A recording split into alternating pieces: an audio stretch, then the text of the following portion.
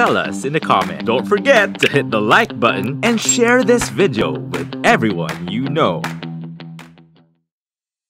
You can see, it's a high responsibility.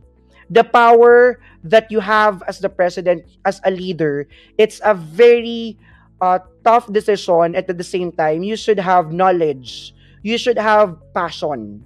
Ang sinasabi nga nila eh. There are no certain qualification. What I mean to say is that you don't need a degree or something that uh, will lead you to run for presidency. It's very basic qualifications, okay? But on top of that, also we should consider if this leader is qualified not just to run the the whole archipelago, but of course to have the passion and a heart. You know, connection we, to what you've said a while ago in electing the president. Now, um, Sir Jess and I prepared um, some uh, classification of the political leaders that you usually see in the political sphere or the political arena. Now, I want to mention, or we want to mention about uh, three types of political mm-hmm. leaders, such as the demagogues, the politician, and the mm-hmm. statesman. Mm-hmm. So while we go through the presidents, we, you will realize or you will classify these personalities according to what type of political leader they are. So when you say a demagogue, kasi when you say a mm-hmm. demagogue, it's a perverse version of the statesman. When you say perverse version, parang nabastos. Okay? Masamang version siya ng statesman because a demagogue is the, the one or a political leader who always appeals to the emotions of the masses or of its its constituents. So, yun ang demagogue. So, parang kung titingnan mo, he's not acting rational. He's acting emotionally.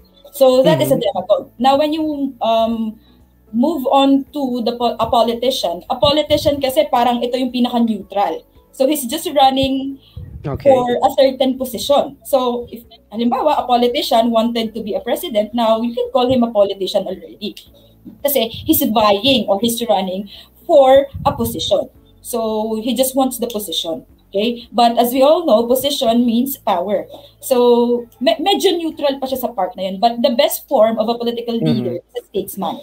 So when you talk about a statesman, he is someone who's skilled, experienced, and respectable political leader. What what's the meaning of this? In the simplest sense, masasabi natin na alam niya yung ginagawa nila. He has a good educational background and he's he knows what he's doing. So I want to recognize Andres Bonifacio as the first president. It's for me, ah, my in my own opinion. Okay. Um, before I tell something about Emilio Aguinaldo, it's just they're very connected you cannot um, remove the fact that Bonifacio started the revolution. He even organized Katipunan for mm-hmm. to install a revolutionary government. So for me, um, I think uh, Andres Bonifacio is the brain mm-hmm. behind everything and how we got our independence. Kasi um, opinion starting... and on my own stand, same with me, um, Ma'am Chloe Palatino that I recognize Bonifacio as the first president of the Republic of the Philippines. Kasi gusto ko bigyan siya ng credit. Dapat may, ay, kaya ito yung ano yun, kasi si Bonifacio is street smarts kasi siya unlike kay Emilio Aguinaldo. Street smart si Bonifacio. So as in nagbuo siya inayos niya ang uh, for ang um, government kaya nagkaroon tayo ng uh, succeeding um iba uh, bra, um, nagkaroon tayo ng mga reforms in terms of government. Kasi siya ang nagsimula eh. Simula sa katipunan or KKK mm-hmm. so inayos niya yung mga uh, forms or um, forms of the government with that uh, with that particular decade. So Bonifacio talaga started the all. So sinundan lang siya ni Emilio. It was very important to the revolutionaries because it revived the Philippine Revolution. Kasi malapit nang matalo ang Pilipinas. So, kaya siya sumikat because of his win in Imus. So, that's why sumikat siya as General mm-hmm. Miyong as the youngest general. And also, he is the youngest president of the Philippines at the age of 28. Because unlike in the 1987 Constitution, if I'm not mistaken, 40 years old dapat ang isang taong gustong maging presidente. But at that time, wala pa naman ganun na qualification. That's why he is the youngest president of the Philippines. So, um, he is also the first um, Okay. president of the Republic of the Philippines. And um, Achievements I- ni Emmanuel L. Quezon during his term, one, ito yung nagkaroon na ng, ah, may nagkaroon ng karapatan ang mga kababaihan para bumoto. Ito yung Okay. isa sa mga nagustuhan ko sa kanyang administration na, na binigyan niya ng karapatang bumoto ang mga kababaihan during the Commonwealth election. So ito yung uh, girl Mm. power, ito yung as one of the best Supreme Court justices in the Philippines. Who, um, of their own in order for them to survive. Kasi parang ang iisip siguro ni Jose Loren, uh, wag naman spoon feeding na lahat manggagaling sa amin. So in order kasi ah, ang Pilipinas nagkakaroon ng problema in terms of poverty and hunger. So in order for you Mhm. kahit papaano mapapaano ma, ma- ah, malutas ang suliranin so nagkaroon ng magtanim para mabuhay. In order for us in order for the Filipino during that time to to survive for the daily lives and to survive. Binalik The ito yung tiwala ng mga tao in terms of ano, good faith uh, faith and confidence of the people in the government. Kasi in the previous Mm. lahat naman lahat lahat ng the past president before Elpidio Corino ay isa ito isa sa mga naging problema ito yung corruption.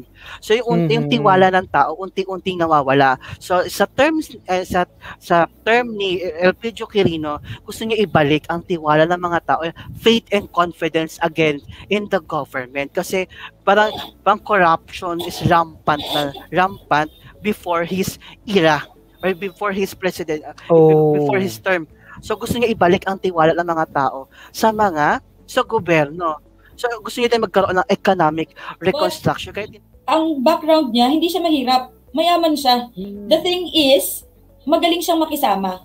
Ang una nga niyang trabaho, nag-declare na June 12, 1898 is the Philippine independence. So siya ang nag, Mm. as in, siya ang nag-proclaim that the Marcos Philippine was good.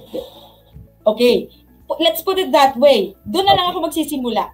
Okay? It is good. Why? Because he built various infrastructures that we're still using. What are these various infrastructure? We have the Cultural Center of the Philippines, we have the Philip, uh, the PICC, and we have the Coconut Palace. We have um, ano pa ba? Um, Bataan Nuclear Power Plant. Nandun din yan. And the designer hospitals. Bakit tinawag na designer hospitals? Hindi ito luxurious hospitals, ha?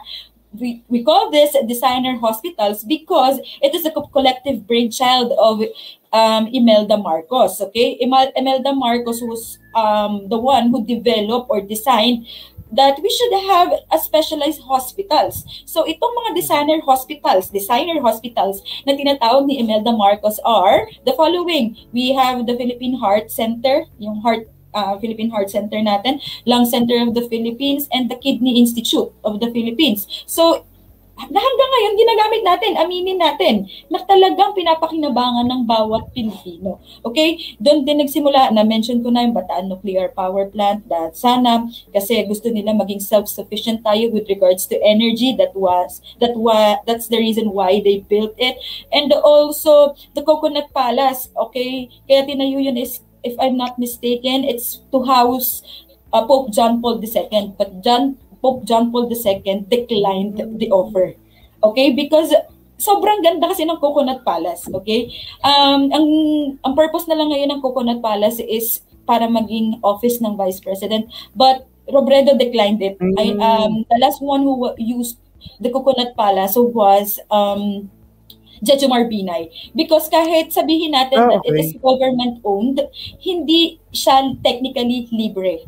400,000 a month ang offer ng Coconut Palace. That's why Lenny chose to have a smaller office. Okay, so in terms of that, sa infrastructures, lalo na ang Maharlika National Highway, sa kanya yan, um, we can take credit for the Ma- Maharlika National Highway to um, uh, Marcos. Also, yung mga improvements ng land nat, uh, improvements ng roads sa kanya din yan. So, maraming infrastructures talaga si Marcos na ibinigay. But uh, um, gusto ko lang sabihin, um, may nabasa kasi ako, pag, eh, correct me if I'm wrong sa mga audience, uh, meron kasing isang scholar named, he's a UP scholar, Emmanuel De Dios.